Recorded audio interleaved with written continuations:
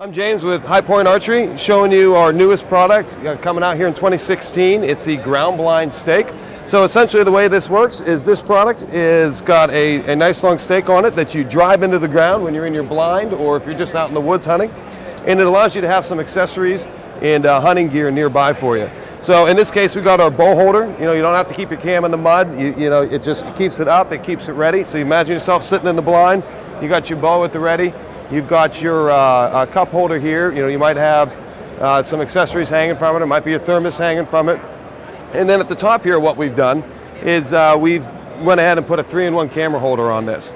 So this attaches quite quickly. You can put your smartphone on it, have quick access to text, weather updates, um, or in, in, the case that it often is, you want to go ahead and video that. So you go ahead and hit your record button, you're ready to go, grab your bow, you know you're going to get your hunt, and uh, you're squared away. Everything here is uh, made in the U.S. It's, uh, in fact, it's made right in Pennsylvania.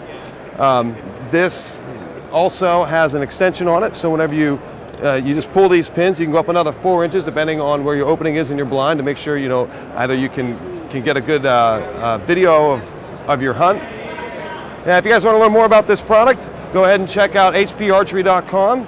Uh, and, and you'll see over the next couple months here, there's going to be videos going up, instructionals on how to use it, and we're adding more and more accessories to it uh, every month here.